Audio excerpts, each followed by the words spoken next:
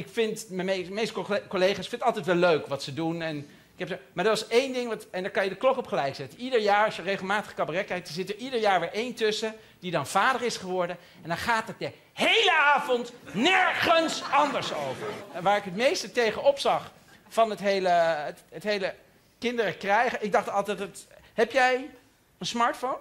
Ja. Oké. Mensen die geen kinderen hebben, eh, als je nou vanavond gewoon steeds bij het woord kinderen smartphone denkt, heb je ook een leuke avond.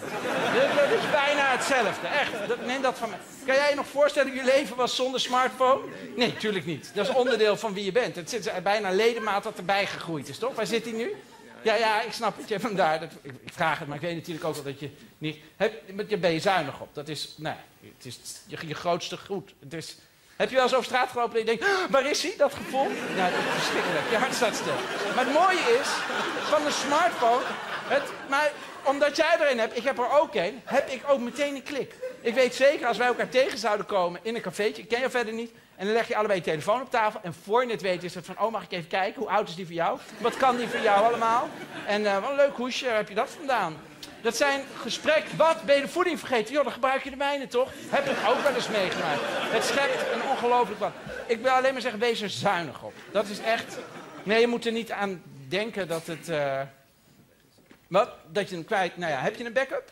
Ja. Ja, oké. Ja, ik vind de, anglicismen zijn verschrikkelijk, maar ja, tweeling is misschien beter beschrijven. Zorg in ieder geval dat als er één wegvalt, dat je de ander nog hebt. Want je leven is voorbij. Het is wat dat betreft best onbeschoft om iemand op de eerste rij te vragen, heb je een smartphone? nou, jij hebt er een, voor hetzelfde gaat zit hier iemand heel graag een smartphone wil, maar er geen kan krijgen. En nou kan je hem lachen, maar het is eigenlijk een super nare situatie waar zo iemand dan in terecht komt. Want als je een, nou ja, dat is zo. Want, eh, kijk, voor alle duidelijkheid, je hebt twee soorten mensen. Je hebt mensen die er bewust voor kiezen om geen smartphone te nemen. Nou, prima. Kom je in een sociaal isolement, maar het is een persoonlijke keuze. Maar je hebt ook mensen die echt heel graag zo'n smartphone willen hebben, maar er geen kunnen krijgen. En dan is het best beroerd om in een wereld te leven waarin iedereen heeft... Oh, waarom heb je dan geen smartphone? Dus dus ik ben blij dat je er een, eh, dat je er een hebt. En eh, good for you. Maar wat ik wou zeggen is dat ik... eh, Dat is met kinderen hetzelfde trouwens. dat is met kinderen hetzelfde. Ja, dat heb ik eigenlijk net gezegd. Dus... Maar ik maak hieruit op dat je na zes jaar nog zoveel slaapgebrek hebt dat het allemaal niet zo snel gaat.